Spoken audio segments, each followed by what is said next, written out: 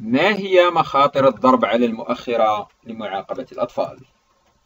في بحث قائم على التحليل الجمعي توصل باحثون من جامعتي تكساس أوستن وميشيغان الأمريكيتين إلى أن ضرب الأطفال الضرب على المؤخرة من شأنه أن يزيد من احتمالية مقاومة الأطفال لوالديهم إضافة إلى اقتران هذه المقاومة بتزايد نسبة العدوانية والسلوكيات المعادية للمجتمع مع اضطرابات صحية عقلية وصعوبات إدراكية حسب ما تفيد به نتائج البحث التي امتدت لخمسون عاما من الأبحاث في هذا المجال.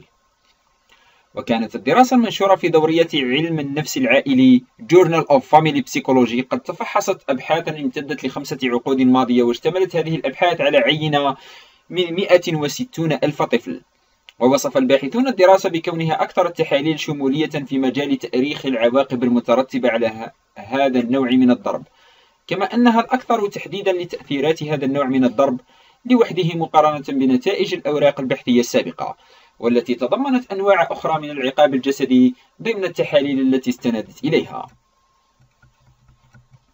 توضح الباحثة إليزابيث جيرشوف هذا الضرب بقولها تركز التحاليل التي أجريناها على مفهوم الضرب الذي يعتبره الأمريكيون ضربا على المؤخرة وليس أنواعا أخرى محتملة من السلوكيات المهينة ويعرف هذا النوع من الضرب بأنه استخدام الأيدي لضرب المؤخرة أو أطراف الجسم وأضافت. وتوصلنا إلى أن هذا الضرب يصاحبه نتائج ضارة غير التي يقصد الآباء تحقيقها وليس لمزيد من الطاعة بشكل فوري أو على المدى البعيد. وهي النتيجة التي يرمون الوصول إليها عند تأديب أطفالهم. حيث يقترن هذا الضرب بشكل كبير بما مجموعه 13 من 17 من النتائج الضارة التي تم بحثها.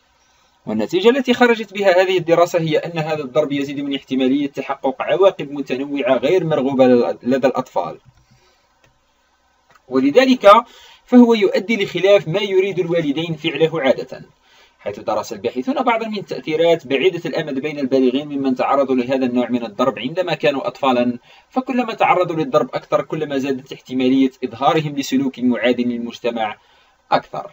إضافة لمعاناتهم من اضطرابات صحية عقلية كما ترتفع احتمالية تأييدهم للعقاب الجسدي تجاه أطفالهم وهي تأثيرات تسلط الضوء على واحدة من الطرق الرئيسية التي يتم بموجبها تمرير هذه التوجهات نحو العقاب الجسدي من جيل لآخر. تفحص الباحثون كذلك مجموعة واسعة من الدراسات. لاحظوا وجود ارتباط بين هذا النوع من الضرب والعواقب السلبية بشكل متناسق وفي كافة أنماط الدراسات. بما فيها الدراسات التي فيها استخدام أفضل استخدام أفضل الطرق البحثية كالطريقة الطولية والتصاميم التجريبية. وطبقا لتقرير منظمة اليونيسف لسنة 2014 فإنما نسبته 80% من الآباء حول العالم يضربون أولادهم بهذه الطريقة. وتشير جيرشوف إلى ثبات هذه النسبة رغم انعدام وجود دليل على وجود دليل واضح على الآثار الإيجابية لهذا النوع من الضرب على أرض الواقع. بينما يتعاظم الدليل على العكس أي أن الضرب يعزز من الضرر الذي يلحق بسلوك الأطفال وتطورهم. فكلا الأمرين الضرب على المؤخرة أو الإساءة الجسدية يرتبطان بذات الشدة والعواقب الوخيمة على الأطفال.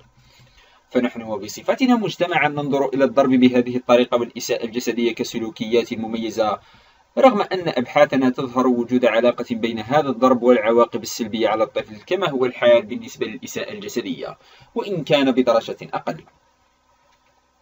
وفي هذا السياق تشير جيرشوف إلى أن نتائج الدراسة تتطابق مع التقرير الصادر حديثا من مراكز مراقبة ومنع الأمراض والذي دعا للمشاركة العامة والحملات التعليمية والوسائل التشريعية للحد من العقاب الجسدي المتضمن الضرب على المؤخرة. حيث قالت جيرتشوف نأمل في أن تساعد دراستنا على تثقيف الآباء حول الأضرار المحتملة لهذا الضرب وكذلك لحثهم على تجربة أنواع غير عقابية من التأديب.